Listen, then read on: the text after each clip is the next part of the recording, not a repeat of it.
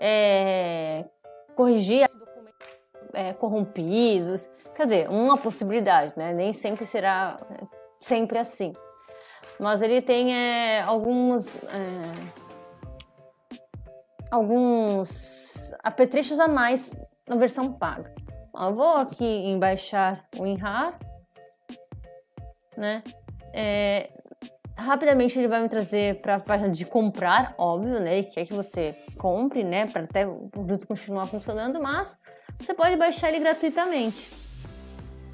Você pode mandar um e-mail para pedir suporte, né? Ou de repente uh, ter algumas ideias do aplicativo, outras funções para o aplicativo para sua empresa, dependendo, você pode enxergar outras boas funções.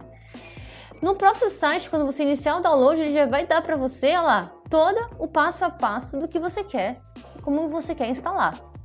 Eu vou abrir o executável, não vou finalizar porque ele pode dar algum conflito com a minha versão que eu tenho instalado na minha máquina. Esse é um dos casos em que eu não vou na pasta mostrar na, em mostrar na pasta, pois é um, aplicativo, vou executar e pronto. Mas normalmente arquivos eu costumo, a não ser se eu realmente só quero dar uma olhadinha nele, remover da pasta Loads e colocar na sua pasta né, correta. Então vamos abrir o executável. Caso você tenha o Windows 10, tá? e ou de repente uma versão anterior pode acontecer também. Pode ser que o Windows venha reclamar sobre o fato de você estar baixando um arquivo que não está na App Store dele. E aí você vai né, informar se você quer instalar um, alguma coisa que ele esteja recomendando, né, baixar uh, da App Store, né? Ou instalar assim mesmo e vamos o que vamos, porque é o que é, você quer este aplicativo. Nesse momento vai abrir uma tela tanto se você deseja permitir que o aplicativo faça alterações no seu dispositivo. Vocês não estão vendo provavelmente essa tela, porque ela é uma tela que ela sai, é, ela ultrapassa a visão do usuário em si. Então, de, talvez vocês não estejam vendo essa tela, em todo caso, respondam que sim. Afinal de contas, você quer instalar um WinRAR. Então, ele vai iniciar o processo de instalação, ele vai perguntar se você quer instalar em algum é, algum destino específico, não mexa, deixa nesse caminho mesmo, tá? No, na pastinha de programas e arquivos, ok? É, só se você realmente quiser direcionar ó, o, o, arquivo de instalação, né? Do WinRAR para alguma pasta específica, mas não há necessidade. Temos aqui a licença, né? grande licença, está em português. Se você tiver curiosidade de ler, por que não? Né? Mas a maioria da. A maioria das vezes ele está falando sobre o teste grátis. Nos 40, 40 dias, muitas vezes você tem acesso a todas as, as funções, mas depois não mais. Né? Você vai iniciar a instalação.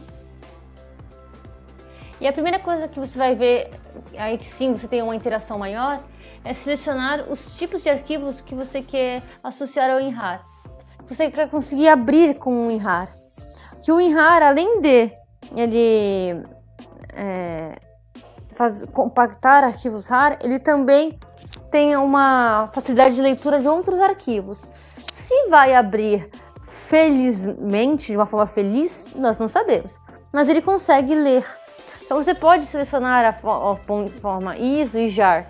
ISO é aqueles é, arquivos de CD, né?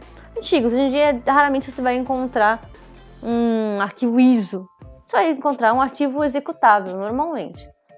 É, e JAR é, é arquivos para execução de aplicativos Java, se não me engano, se não falei besteira. Mas também é algo que pouco se utiliza hum, diretamente, né? Você vai receber um arquivo já muito raramente isso vai, vai acontecer, mas o que, que eu aconselho? clica em tudo, tá? É, nesse sentido.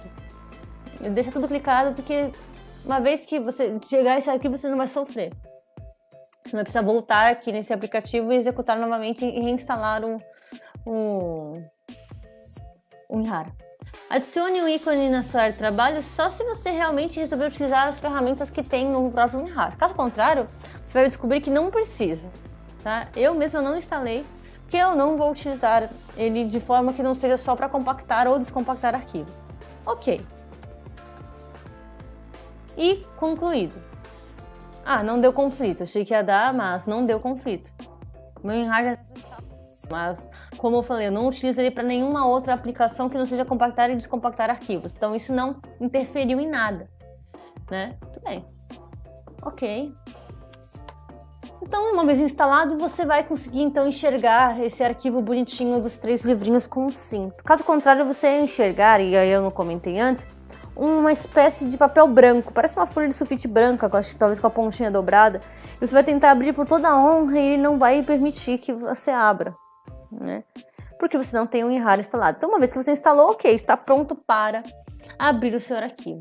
Você pode sim abrir, né, e olhar o que tem dentro, como a gente já fez. Mas, desta forma, você não vai conseguir é, efetuar edições nesses arquivos. Por exemplo, este PowerPoint que está aqui. Então, se você quiser efetuar edições, você pode fazer alguns processos. Você pode extrair um arquivo ó, em especial para e normalmente ele vai deixar na própria pasta em que já está o arquivo. Então, ó, nosso arquivo está na pasta é, new. Então ele vai ficar na pasta new junto com a pasta de descompactação. Então, ok. Olha lá. Você vai ver, eita, descompactou uma pasta inteira. Mas olha só quem está lá dentro. Porque ele criou, né, uma pasta dentro da pasta new. Você pode também, vamos pegar aqui um, um arquivo, você, para ter não diferenciada. Você pode, de repente, é, extrair criar uma nova pasta ou selecionar, né, algum local que você queira. Por exemplo, aqui está criando uma nova pasta, né? Você pode remover esse nome de pasta aqui, ó, deixar só no new e ok. Olha lá, quem veio? Só o arquivo. Então você apagou o nome da pasta. Esses passos aqui que eu estou passando, você pode até dar uma certa ignorada caso você não consiga entender. Se você conseguir entender, beleza, perfeito. Caso contrário, não vai ser algo tão útil, porque normalmente o que nós fazemos quando recebemos um arquivo em RAR? A gente não sai descompactando um arquivo de cada vez. A gente simplesmente clica com o botão direito em cima dele e extrai aqui.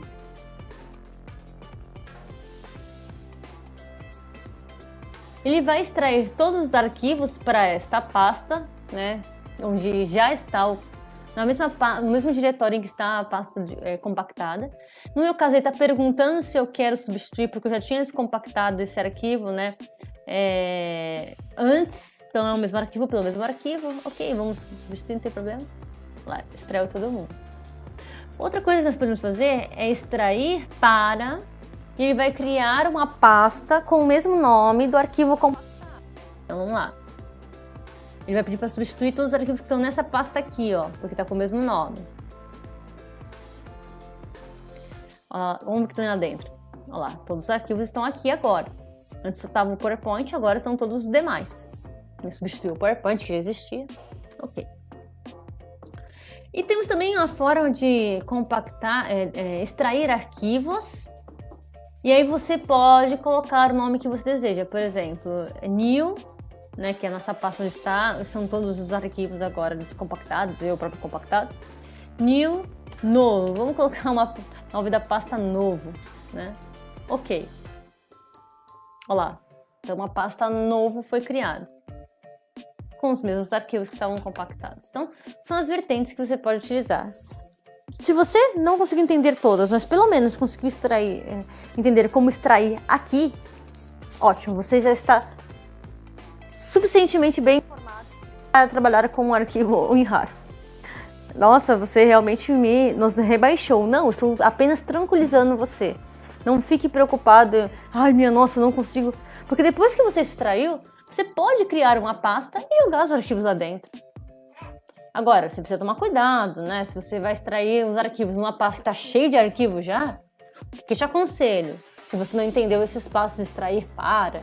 Cria uma pasta Coloca esse arquivo compacto lá dentro e descompacta tudo lá dentro. Costumeiramente eu mesma faço isso, porque é mais fácil. do que ir lá, digitar um diretório. Por incrível que pareça, apesar de ter mais passos, é mais fácil